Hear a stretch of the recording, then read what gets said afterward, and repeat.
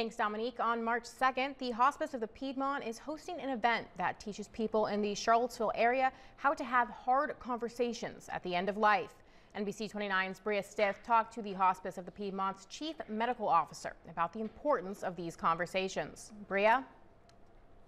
Death can be a very scary topic, but the Hospice of the Piedmont says end of life planning is one of the most needed conversations you can have, whether it's for yourself or a loved one the vast majority of people are reluctant to have these conversations. But Dr. Tim Short, who is the chief medical officer at the Hospice of the Piedmont, says it means you're normal.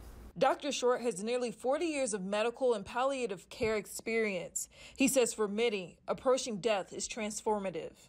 When you get close to the end of life, really you get clarity around what's important now and what's no longer important. He says because of this, end of life planning is a must.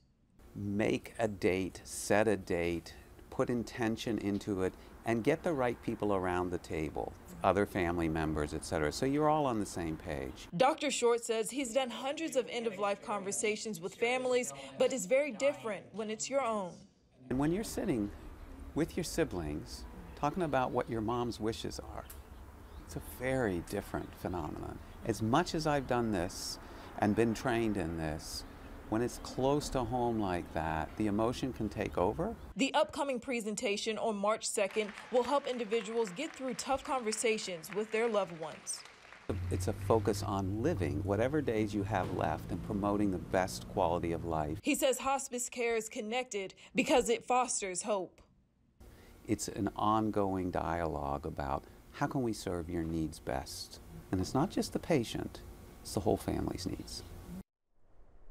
Dr. Short will be speaking about hard conversations at the end of life at Unity of Charlottesville on March 2nd. He says anybody with a serious illness or caring for someone with a serious illness will benefit from this presentation. Live in the studio, Bria Stith, NBC 29 News at 6.